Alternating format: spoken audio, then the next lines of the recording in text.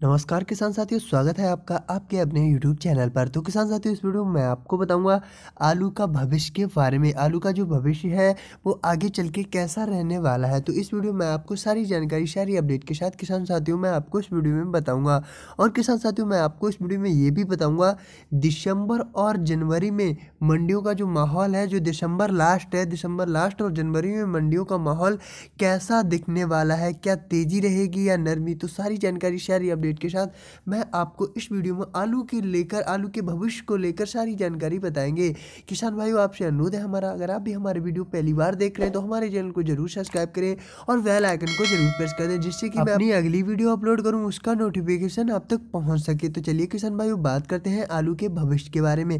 आप किसान साथियों मैं आपको बताऊँगा आगे आने वाले दिनों में आलू का भविष्य कैसे रहने वाला है। तो किसान साथियों मैं आपको बता दूँ जैसे कि आपको पता होगा पिछले दो सप्ते पहले आलू का जो भविष्य था वो बहुत ही ज़्यादा तेज़ी भरा था, बहुत ही ज़्यादा ऊंचाइयों पर पहुँच चुका था। लेकिन किसान भाइयों, अब पिछले सप्ते से दिन पे दिन दिन पे दिन किसान भाइयों, जो आलू का रेट है, जो आलू का प्राइस है, वो दिन पे दिन कम होता चला जा रहा है।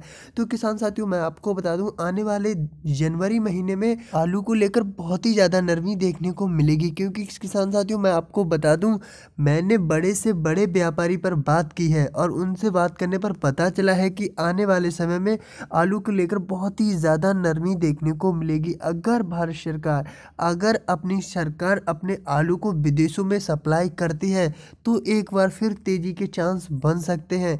अगर अपना आलू विदेशों में सप्लाई नहीं हुआ तो किसान साथियों, बहुत ज़्यादा नरमी देखने को मिलेगी किसान साथियों को।